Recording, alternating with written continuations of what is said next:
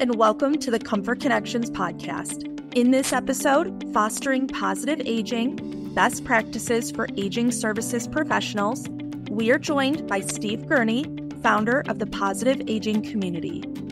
Listen in as we discuss the importance of communication, collaboration, and resource development to promote a successful aging journey. We will dive into the concept of positive aging and how aging services professionals can leverage resources and connections to provide clients with community and successful care. Stay tuned for expert insights and practical tips to elevate your practice in serving aging populations. Welcome, Steve. It's a pleasure to have you joining us today. I'm really psyched to be here and looking forward to this conversation. Steve, can you please share a little about your background with our listeners and a brief overview of the positive aging community, the positive aging sourcebook?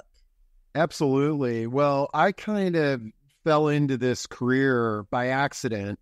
My, when I was in college, my grandfather needed a nursing home, and I observed what my family had to go through to make that difficult decision. And it kind of blew my mind that there wasn't a resource out there for our family to make this difficult decision. So when I graduated, I didn't have the greatest job in the world. And I basically figured, well, I'm going to put together one of these guides and I'll put it on my resume and uh, maybe somebody will give me a better job. Well, here I am 35 years later. I uh, th- that was what's now known as the Positive Aging Source Book, and then um, I discovered something really interesting when I started doing this. Is is that in general, consumers are really not interested in all this aging and senior living stuff. So the phrase that I hear every day of the week is, I'm not ready yet. This is all good, but I'm not ready for that yet. Whereas the professional community, the social workers, financial planners, area agencies on aging, they were ordering my guide by the box loads. And I quickly discovered that what I'm going to do is build a community of senior living providers, and that can help provide access to these very difficult to reach consumers in this area. Well, everything went great, you know, and I would do uh, what part of what I did to build that community is I do a lot of live events and things of that nature. But then um, uh, the pandemic hits, and all these providers are giving me a call saying, What are we going to do? We can't meet in person. So I started experimenting with online ways for the provider community to meet online. And um, then something interesting happened. These professionals started inviting their clients to these online discussions we were having.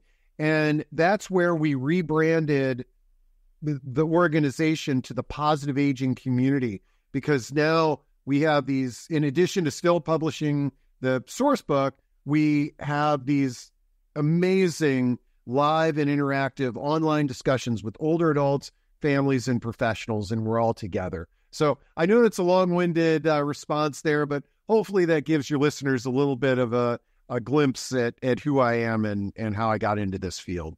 Thank you, Steve, for sharing how the positive aging community began. So, diving a little deeper into the idea of positive aging, could you expand on what this term means, especially when aging services professionals are using it? All right. Well, uh, so first off, um, the interesting thing about positive aging and the reason that I like that term is number one, it's it's positive. You know, it's sort of where in, in general, when we look at aging, a lot of us subconsciously, it's a declinist way of thinking. It's like, oh, you know, I'm not as good as I used to be. But, you know, positive aging, it gives that positive vibe. But but here's something that I want to make sure that the professional community and the community at large really thinks a little bit more deeply about is is that I think oftentimes when we think of positive aging, you imagine this guy that's jumping out of an airplane in his 80s or 90s or somebody that's running a marathon, you know, with their grandchildren and and that's how we view positive aging is the in general it's these sort of healthy physical feats, but how I want uh, the community to look at positive aging is, is that none of us have a crystal ball. And for most of us, we're not going to be jumping out of airplanes and running marathons. And life throws us curveballs. So a, a positive aging activity could be having a discussion with your kids and grandkids about end of life decision making. Um, a positive aging uh, approach could be oh gosh, I got this diagnosis that I had a stroke and or that I'm going to be using a walker or a wheelchair. How can I reinvent myself to live a purposeful life? And so I think when I think about positive aging, I try to sort of help people see a wider field of vision that it's it, that every aspect of us living as we're aging and going through these chapters can be positive. It's not easy, but having a wilder field of vision, some creativity, some encouragement, and people to help you can make it possible. This really makes sense, especially living a purposeful life. It sounds like the big takeaway is that positive aging includes having access to the right information and support to lead to a good quality of life. Is that correct? Absolutely. I mean, I think one of the things that I've seen over the years is is that uh, people feel like so when we are faced with decisions that are related to senior living, elder care, what have you, oftentimes we keep it inside. It's like this is a family matter. I'm gonna I'm gonna figure out what's best for mom and dad, and um, and I can do it. Y- you know, they raised me. I'm gonna I'm gonna help them. And and folks don't really open up and sort of share what they're going through. And number one, that can be stressful. But more importantly, if folks are not letting us know that their situation, it it makes it difficult for us as providers to help them. And I think the key thing that I see when I you know, meet somebody who's new to this field uh, or has been in this field for quite some time. It's sort of advising them on learn about all the resources out there and really seek to be a resource to those families that you're talking and individuals that you're talking to because they are walking this road alone. They think that, that they have to walk it alone and we can all help them. Can you share a little more regarding how aging services professionals can leverage resources like the Positive Aging Sourcebook to support clients and caregivers in the aging journey? Yeah, I mean the the it's great when your individual community has a resource like the one I put together. But, you know, in parts of this country, there might not be necessarily like this comprehensive resource that you can go and grab and just pass that along to your clients. And so I urge all professionals to sort of create your own resource guide. And how you do that, it's up to you. It could be using your company's CRM system. It could be a three ring binder that you just put everything in, or it could be a spreadsheet or something online but begin to create your own resource directory. And and one of the things that I've found in this field is is that oftentimes it might not make sense. It's sort of like I'm a provider that is in the senior housing space. So why should I be telling people about aging in place? And vice versa. I'm, you know, working in adult daycare. I mean, we're taking care of people who are living in their own home. Why would I want to know about assisted living and nursing care. That's the point. The the point is is that the goal is we want to be a resource to the families that are coming to us. And not every family is going to be appropriate to our services, but we we don't want to just send them out in the cold. We want to help them on that journey. And this will pay off as professionals with tremendous dividends because that family that might not be appropriate for your services that you help navigate these very challenging waters, you better believe they're going to be talking highly about you to all their friends, family, and neighbors. And at some point, uh, you're going to get a phone call. You helped my next door neighbor. She spoke really highly of you.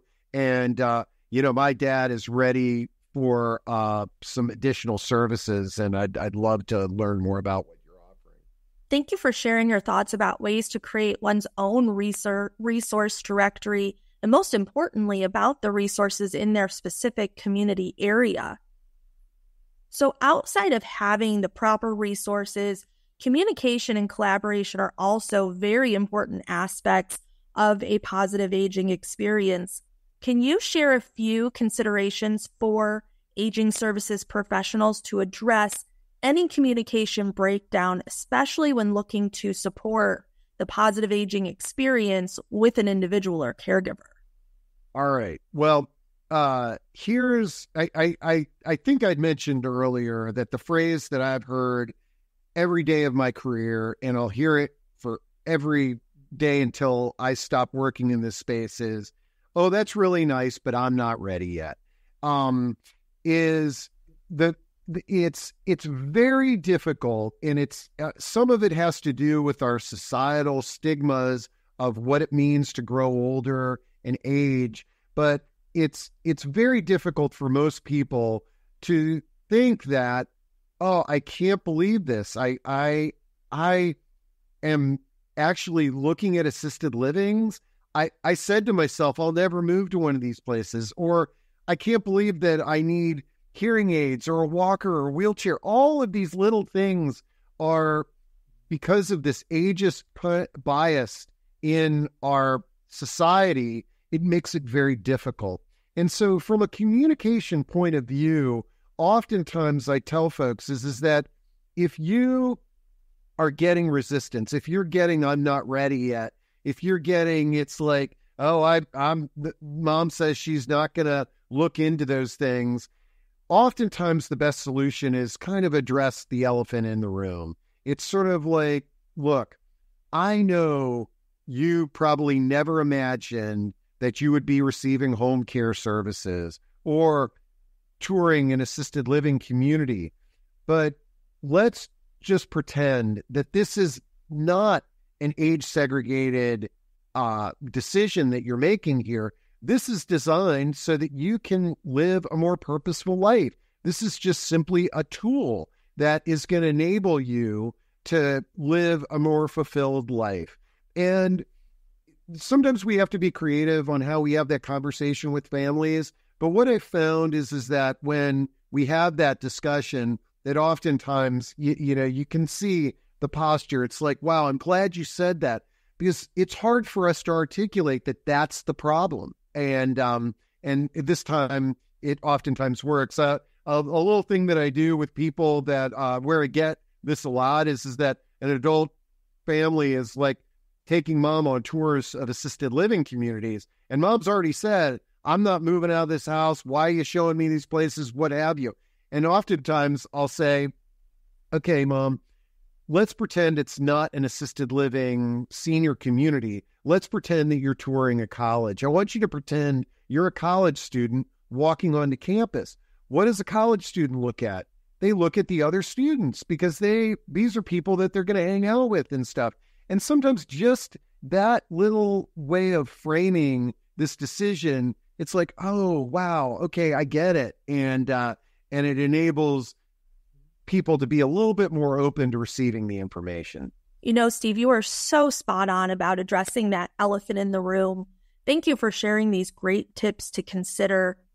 Now, can you share a success story showcasing how proper communication and access to resources such as the positive aging community helped a client with their care journey? Yeah. Um, so I've I've got one story. Uh, little bit anecdotal here, but let me kind of walk you through this. And so, um, and and what's interesting is it kind of ties in what I was just talking about. Is is that this family that I'm thinking about in particular? There were a few siblings. Uh, I got a call from one of the daughters, and she's just sort of like you know at wits end because a um she wanted mom to move to assisted living but i think like her siblings either were thinking well mom can come live in my basement or um you know uh why don't we get home care and mom can just stay in her home that's she said that's where she wants to be and um they were kind of at odds with what to do. And uh, as we began talking, I introduced them to the profession of aging life care managers. And these are these are folks that can be hired to sort of make an evaluation and sort of be like a quarterback to all these difficult decisions. And so the first thing that happened with this family was the aging life care manager came in and basically said, Look, even though you all might be paying for me, the client is your mom. We're going to do what's best for your mom and, and what she wants because she's an adult. She can make mistakes. And uh, this is not about what you think is best for you. It's about what mom, what's best for mom. And so they basically, you know, uh, did an assessment and it's like, well, for the time being, mom is going to stay at home. So let's make this the best experience that it can be.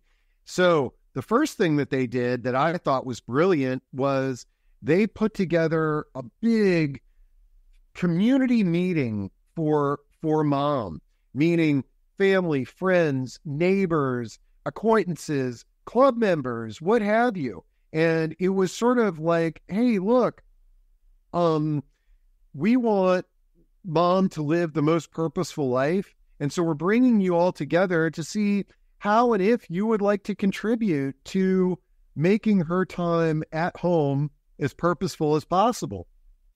And what happened when they did this was uh, nearly everybody raised their hand. It's sort of like, you know, I, I have the day off on Wednesdays. I would love to come by and and we go on some adventures. And there, I I remember there was there was somebody that was a movie buff. They he was going to the movies every Saturday by himself. And he's like, I would love to bring you to the movies if you'd like to come with me. And so they got that mom's community engaged. And the beauty to this is that this is all free, unpaid help, you know? And um it was amazing. But there was gaps in in in the week and there was times when you know somebody's going on vacation what are we going to do so they engaged a, a home care agency uh you know like like ComForCare and they um engaged a home care agency that was on call and there was regular days that they were always there you know but what was great is is that if somebody was going on vacation or if somebody couldn't be there or there's an emergency they could pick up the phone and they knew that that provider would be there and they also still had the aging life care manager that was helping the family coordinate all of this. And um, you know, I love it when people call me and they they they present me with a problem and I kind of what but what I really like is when I hear the solution and you, the, the there's there is an interesting twist to this story because I believe this this care model went on for a long time. And and mom at the beginning, mom was showing early signs of cognitive impairment. That's why the family kind of came together. But that progressed to the point where living safely in the home was becoming a little bit more difficult. And uh, I I believe, but I'm not that one of the things that uh, that one of the families had a uh, a, a like a child in high school that was volunteering at a local memory care community for community service hours, and because that uh, familiar face in the neighborhood was over there, it made it easier now for mom to go there and tour the place. And I believe that, like the last year of her life, she lived in a um, in a memory care community. So I know this is a long-winded story, but why I like sharing it is is that I think it it just illustrates how there's there's no I wish there was a checklist that we could just check off and said, here's what you do. But it's not that easy. It's um, every family dynamic is different, every personality is different. And I think the important thing that we need to recognize is that the elders that we're that we're concerned about have lived long, full lives. You know, they're not like that 18 year old kid go walking onto a college campus. And we need to honor them and let them make decisions and and be a part of it. Thank you for sharing this client's journey. How awesome it must have been to have her community providing such great support. And you're right, each has very specific needs. This is what we see so many times for the clients that we serve, especially how ComForCare helps to provide support and fill those gaps. Um, it, yeah, it, my my pleasure. I uh, I, I'm I'm just blown away at what you all are doing, and uh, it's supporting. We we need to support people in their journey, and for most of us, that journey is aging in place. I mean, even if we know that okay, if sometime if the boxes check, if I have cognitive impairment, if I am in a wheelchair, what have you, I would like to make the move and um, and and move to a community. But it all starts with providing support in the place that we're living today, and uh, and I commend you all on that mission. Steve, as our conversation comes to an end, do you have any additional thoughts that you'd like to share with our listeners? Um, I just I and I and I hope I illustrated it today is I think as providers and as consumers in this marketplace, having a wide field of vision is very important. It's very easy for us to to sort of think in sort of prescribed, regimented ways, uh, and whether we went through some training or you know, uh, my previous five clients this is what they did, so I'm going to do this this for them.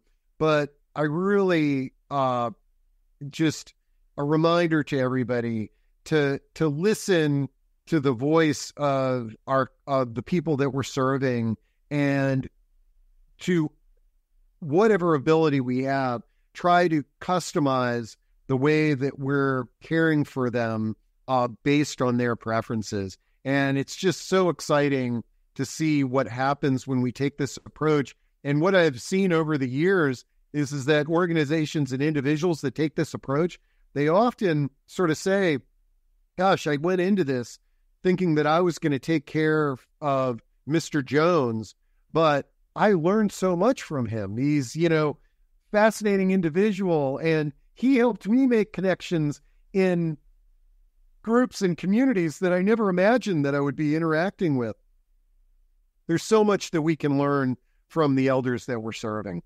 Thank you again, Steve, for sharing your insights with our listeners. Like I said, I know I sound like a broken record. I love what you all are doing and would love to come back anytime to uh, to chat about this and any topic related to aging and longevity.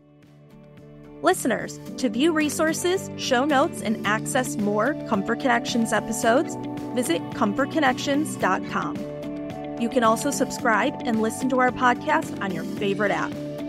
Thank you for listening and helping older adults live their best life possible.